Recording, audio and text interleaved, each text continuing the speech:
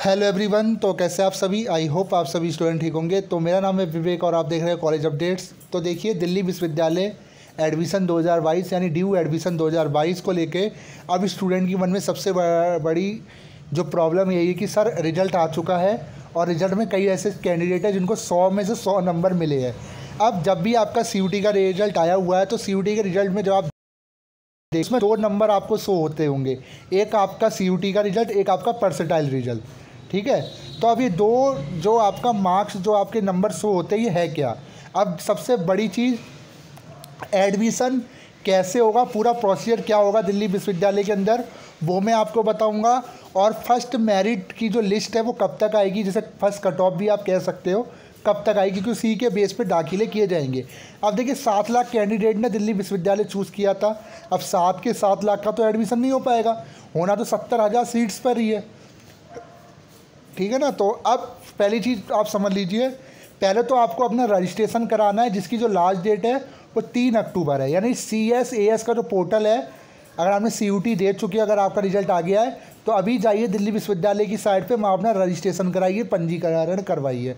जब आपका पंजीकरण हो जाएगा, जब आप उसके सारे स्टेप भर दोगे, उसके बाद तीसरा जो स्टेप रहता है सीट अलॉटमेंट का, वो दिल्ली विश्वविद्यालय तय करेगा। अब देखिए, अब होगा कैसे? पहली चीज़, जैसे आपने एग्ज़ाम दिया सीयूटी का। उसमें जिस सब्जेक्ट में आपके सबसे हाई स्कोर किया है, उस सब्जेक्ट को प्राथमिकता दी जाएगी। मान लीजिए आप बीए में जा रहे हो और बीए में आपने पॉलिटिकल साइंस चुना है, हिस्ट्री चुना है और उनके जो नंबर्स होंगे, उनको प्राथमिकता दी जाएगी। ठीक है? अब उन्हीं नंबरों के आधार पर मतलब कि आपका रिज़ल्ट के नंबर, एक आपका आपका परसेटाइल नंबर दो नंबर आपको शो कर रहे होंगे। तो उन दोनों के बेस पर ही आपकी मेरिट लिस्ट बनाई जाएगी।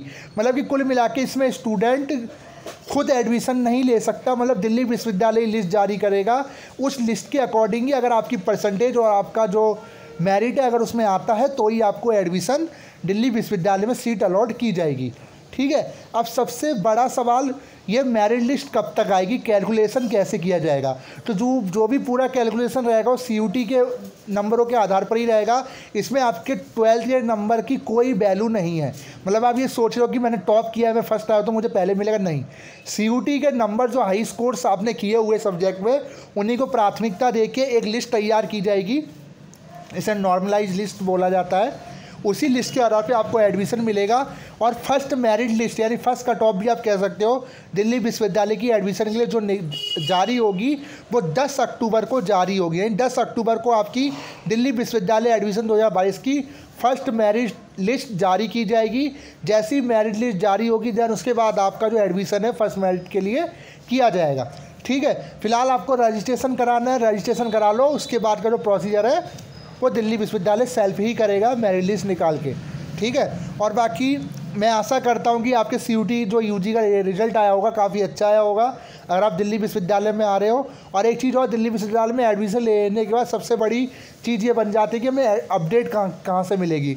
तो कॉलेज अपडेट्स आपको अपडेट देगा, चैनल को सब्सक्राइब कर लो और टेलीग्राम भी ज्वाइन कर लो लिंक मैं डिस्क्रिप्शन बॉक्स में आपको दे चुका हूँ। Thank you so much